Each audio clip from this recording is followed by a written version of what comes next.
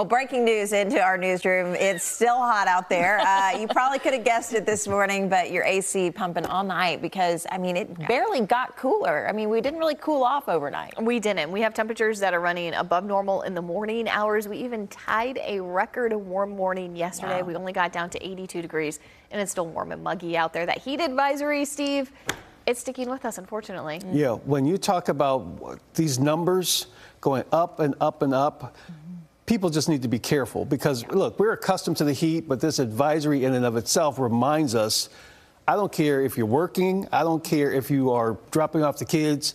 This is serious stuff. It yeah. is, and that's why we do have the advisories from the National Weather Service to bring attention to the fact that this is so hot out there. So we are going to see those feels like temperatures getting up to near 110 degrees. And look at the temperatures over the next several days. We are looking at triple digit air temperatures. That's not even taking into account the humidity, which is what makes it feel so hot outside, what adds that extra stress on our body. And with high humidity, we are going to continue to see those heat index values up around 110 right through the week weekend. So we've had this heat advisory through Monday. It does take a little while for our bodies to start to somewhat acclimate to this heat. I mean, it's still dangerous. Even once we start to get used to it, you still need to remember those heat safety precautions.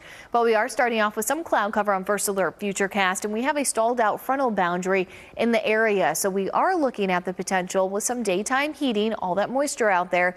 We could get an isolated shower or storm developing around the Metroplex. But once that sun goes down, we're losing that heating and any of those showers are going to come to an end. But the pool is a great place to be. We'll have a mix of sun and clouds today. 92 degrees by noon. We'll already be feeling like the triple digits. That high today around 99, but we'll be feeling up to 110 degrees. And it's this heat dome. I mean, we're just one month into summer if you go by meteorological summer. And we are still going to be talking about this heat dome into July and August, Madison. That's when we really start to see that heat cranking up even more.